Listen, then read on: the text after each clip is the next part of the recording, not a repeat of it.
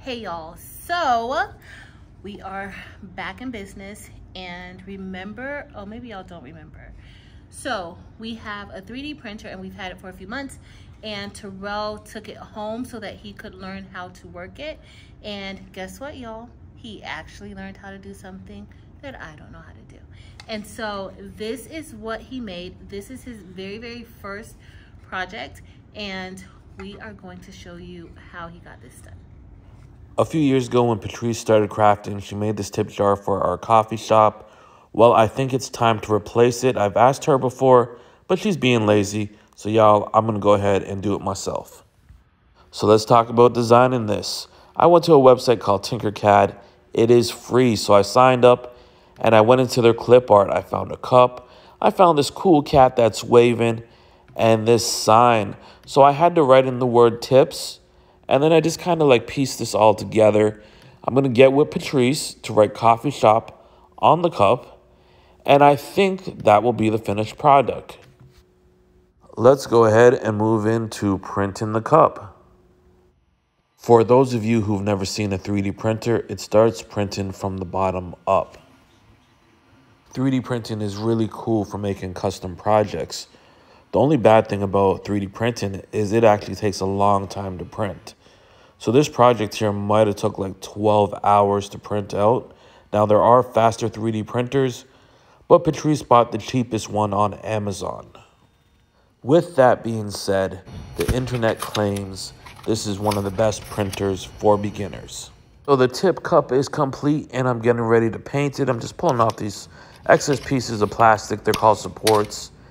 And yeah, so I have these paint markers they're acrylic and I'm just going to go ahead and paint on the letters. One of the things I learned about 3D printing, if you can see kind of the lines in the cup, you can actually sand those away. At the time of actually making this, I did not know that. I learned that after the fact. So for my next project, I'll do some sanding. So I'm not really sure what happened, but I lost videos where I finished painting him.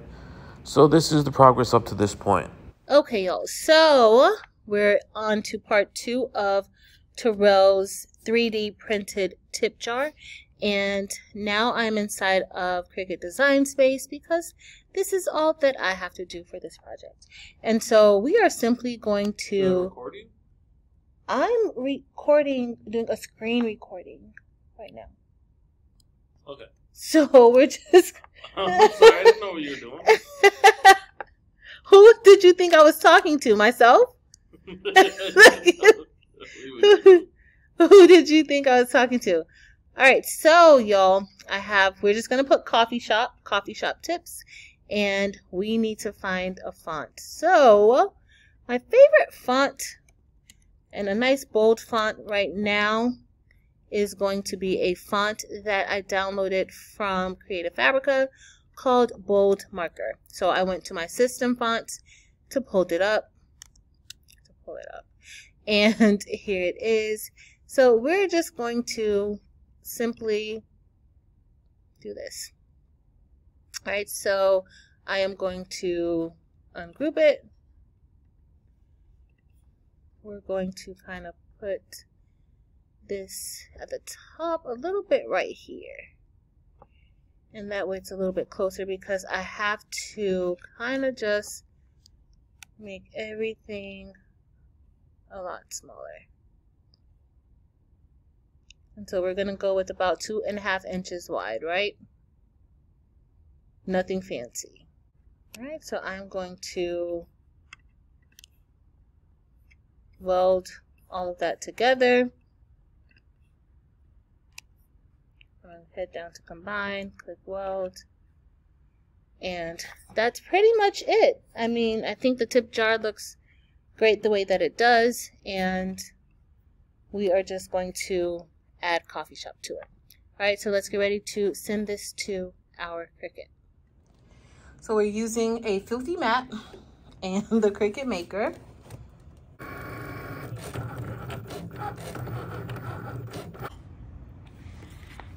So we're all done and I am just going to read this and hopefully this weed's good. I used some vinyl from Heat Transfer Warehouse.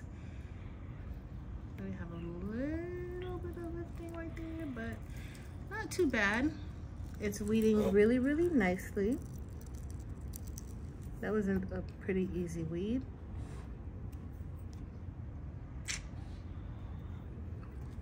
All right, so then I'm just gonna take out the insides. And next we are going to transfer this to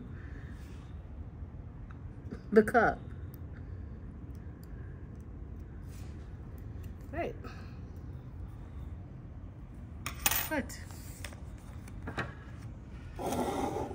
What you have to, you have to wait. Be patient. We need to get transfer tape. All right, so now we're just going to take our transfer tape and apply it on top. And I wanna get it to where there isn't any bubbles on there. And here you really should use like a squeegee to make sure that it adheres to the transfer tape. So give me a second. So let's go ahead and make sure that everything is nicely adhered.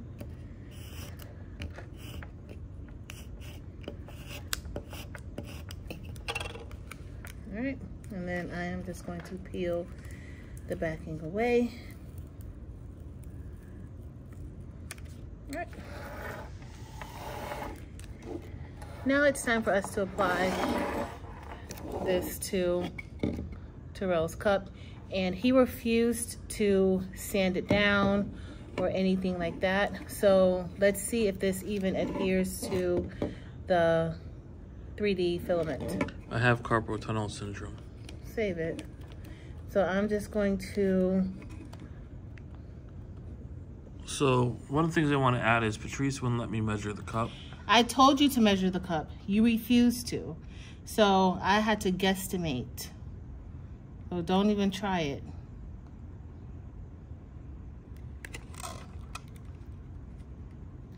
This is kind of slippery, but actually, let's see if it sticks onto there.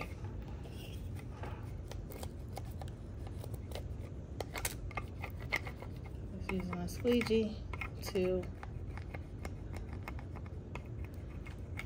get it down.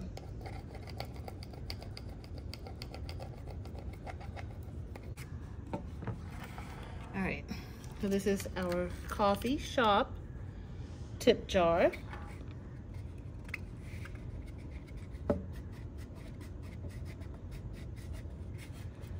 And I think this came out really, really good. It's very light, surprisingly. It's lighter than what I, I thought it would be but it's pretty cool. This is Terrell's first decent 3D project.